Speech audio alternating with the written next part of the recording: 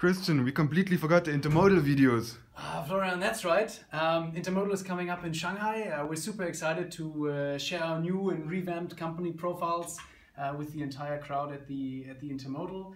Um, for those of you who don't know us yet, um, we're Container xChange. Uh, we're a neutral online platform for one-way container moves and SOC containers, and we'll connect container owners and suppliers.